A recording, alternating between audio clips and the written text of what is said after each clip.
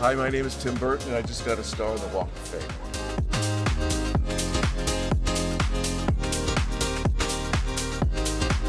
Congratulations, uh, Tim, I should uh, Mr. Burton. Long time do this. You're a star in your own right, but this makes you a superstar.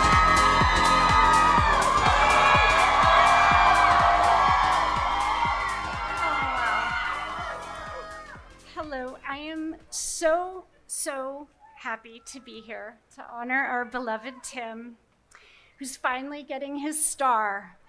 I mean, giving him this star is sort of like pinning a medal on Mount Everest for being the tallest mountain. Um, Tim has such a beautiful and unique understanding of the human heart. He knows the heartache of the misunderstood, the strange, and unusual he he doesn't just understand them he celebrates them. Whether outcasts oddballs terrifying or hilarious he gives them depth humor and always a certain gallantry and he gives them their dignity. His heroes are the very outcasts that he loves. So we've been traveling all over the place promoting beetlejuice beetlejuice and i have been asked so many times what it's like to work with Tim. And it- it's actually, to describe it is actually kind of hard. Um, to work with Tim is like being invited to wander through his heart and imagination. It's the ultimate cathedral and one of my most cherished and sacred places to be, and I am eternally grateful for the time that I've spent there. And on a personal note, Tim, your friendship has been such an enormous gift. When I met you, I was a weird kid. And Now you, you're a weird adult. I know. Um, you affirmed my voice, you reinforced my confidence to be myself, to go against the tides of conformity. Your creative inclusiveness showed me what true artistic collaboration looked like. And in other words, you made being a weird girl not just okay, but something to celebrate and even kind of cool. Um, and you've carried that torch for us weirdos um, everywhere, making us all feel seen and valued. Congratulations. I love you so much.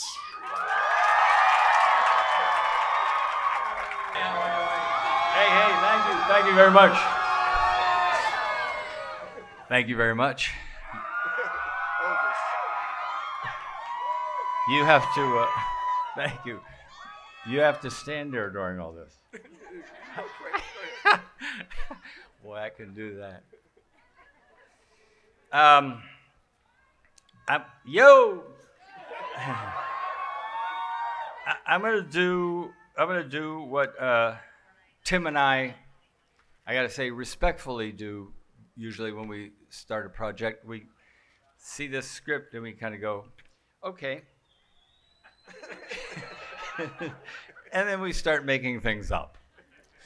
Um, some of this is going to be things I've said before, so bear with me.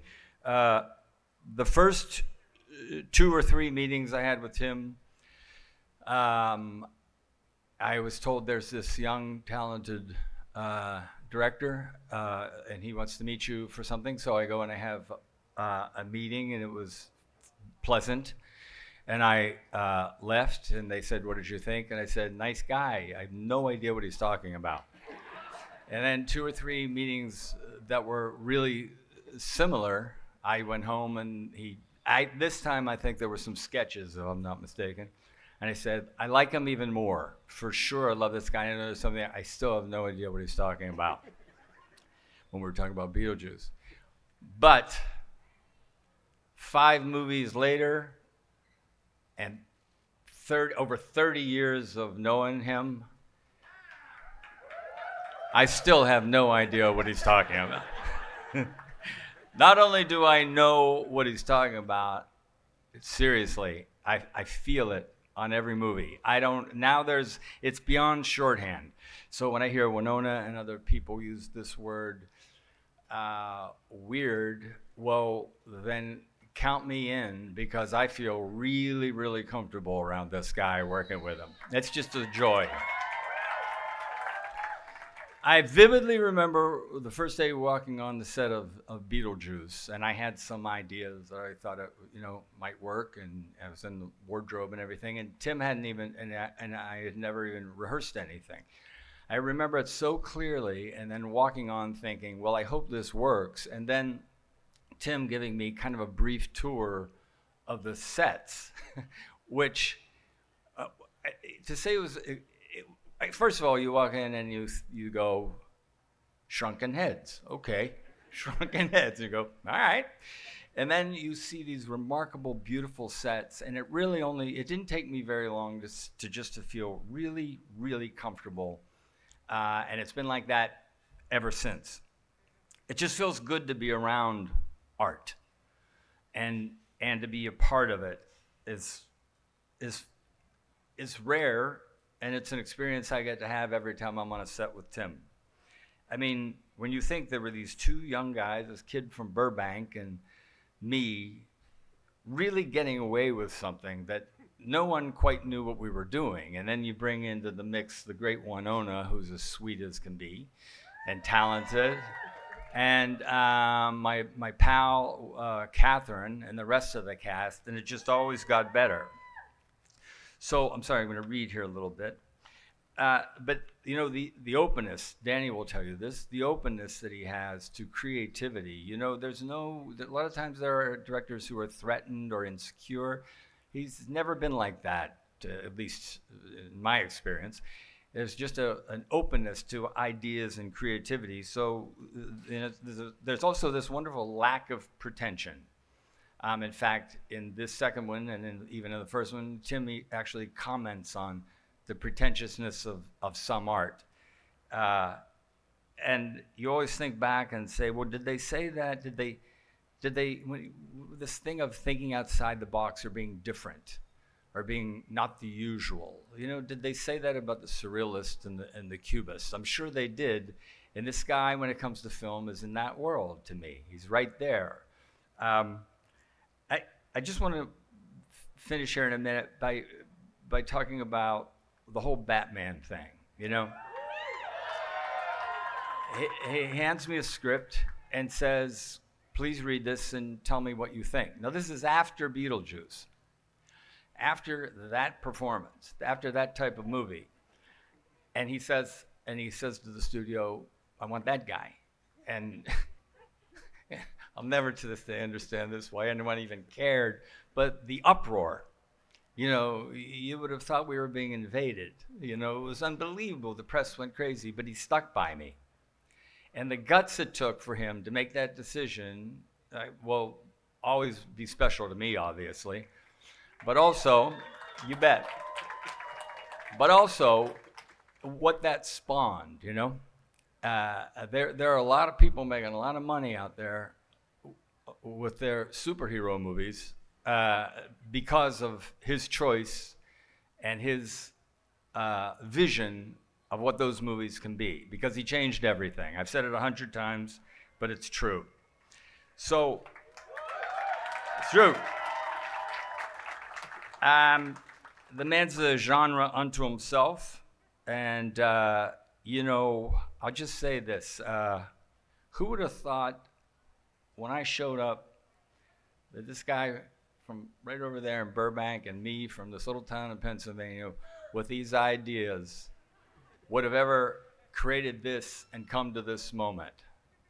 Well, I guess it, you and I would have thought that.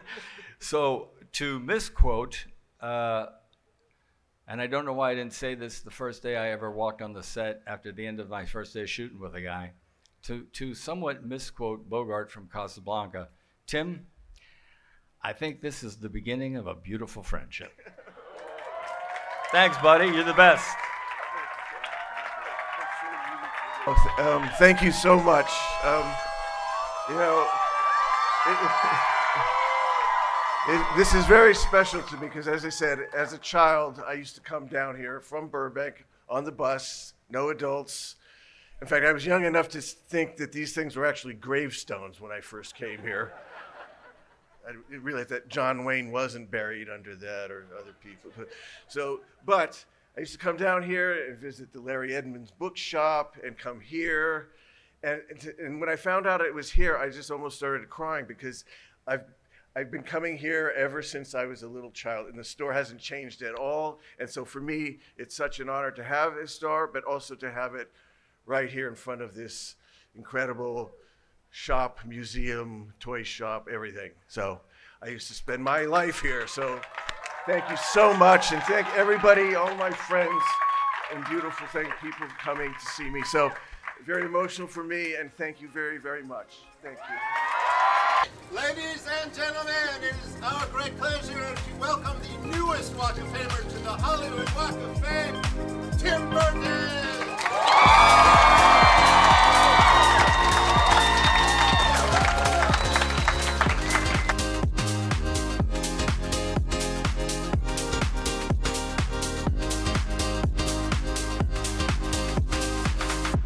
Hi, my name is Arlinda. I'm really happy to be here in the Tim Burton Star Walk of Fame. Oh my God, we are super fun with my mother-in-law that is uh, to my side. But actually, we are here for Dulce because we are really happy to be here and participate in this event. Hola, soy de México y estoy aquí disfrutando de Tim Burton, eh, la- que le den la estrella, muy emocionada y eh, bueno, aquí estamos. I'm Lourdes, I'm from Long Beach. I'm here for Tim Burton and Tim Burton only. My name is Marissa. Um, I live in Studio City. I'm from Jersey though, but I've been a Tim Burton fan since I was a little itty bitty. Beetlejuice, Batman 1 and 2, all the Batman, everything. So excited to see him today and hoping to see Michael Keaton too.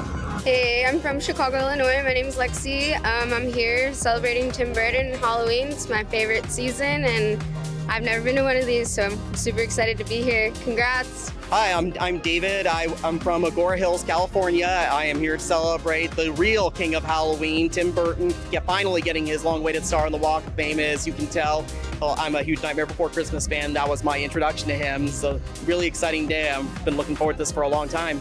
I am here to check out the commemoration of Tim Burton's star on the Walk of Fame, and I drove all the way here from Menifee, which is about 90 miles away.